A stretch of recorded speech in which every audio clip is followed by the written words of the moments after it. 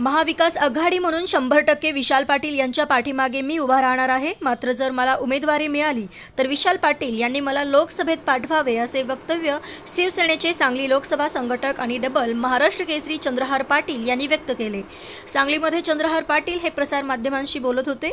महाविकास आघाडीचा जो निर्णय होईल तो निर्णय आम्हास मान्य राहील.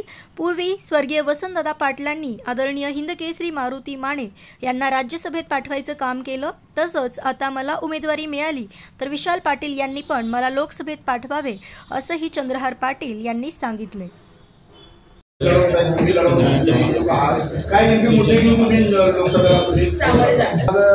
सर्व वर्तमानपत्रातनं पक्षात प्रवेश करायच्या पूर्वी मी माझा स्वतःचा जाहीरनामा काढलेला आहे. अनेक जिल्ह्याचे मुद्दे त्यात आपण विकासाचे मुद्दे त्यात घालून आपण जनतेसमोर गेलेलो आहे.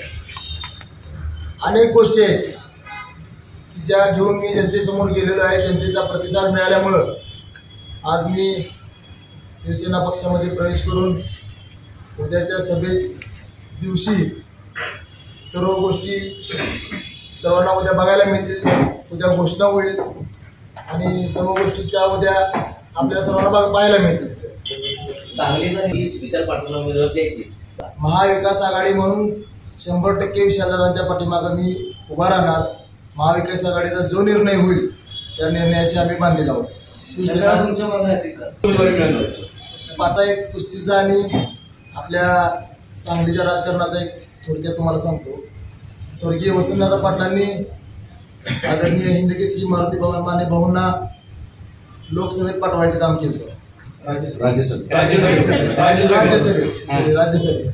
खासदार म्हणून गेले. तसंच महाविकास आघाडी म्हणून ज्यावेळेस शिवसेनेला जागा सुटेल त्यावेळी आदरणीय वसंतदादांचे नातू असणारे आदरणीय विशालदादा त्यावेळेस एका हिंद केसरींना राज्यसभेवर पाठवलं होतं वसंतदादांनी. त्याच वसंतदादांचे नातू आदरणीय विशालदादा आज एका डबल महाराष्ट्र केसरीला संसदेत पाठवतील ह्याचा मला ठाम विश्वास आहे.